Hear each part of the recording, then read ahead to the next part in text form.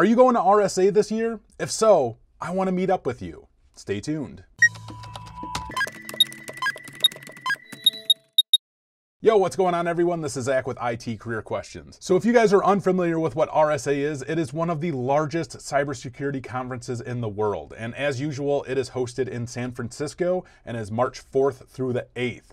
So if you guys are going to be there, please make sure you let me know. And if you guys are interested in doing an interview, talking about your experience in IT, talking about your experiences in cybersecurity, or giving advice to people who are looking to get into these fields, please get a hold of me because I would love to talk to you guys and interview you. It would mean the world to me. My good friends over at Circadence are sending me to this conference, so I will be at their booth, which is 6583. So please make sure you stop by this booth. And if you guys are looking for a demo of the Project Ares platform, I can definitely get you scheduled and we can go over this groundbreaking gamified cybersecurity training platform. It is unlike anything I have ever seen before. If you guys have seen any of my videos about Project Ares before, you guys know that this thing is the real deal. So please make sure you guys reach out to me. Let's meet up at RSA this year. I cannot wait to go. I have never been to California before, so this is going to be really exciting for me just on that alone. So that's all I got for you guys today. I'm really excited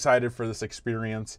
And if you guys have any other comments, questions, or concerns, make sure you guys hit me up in the comments below. We're going to have more videos where we talk about Project Ares. And again, we're going to have tons of videos from RSA this year. So yeah, that's it. That's all I got for you guys today. As always, take it easy.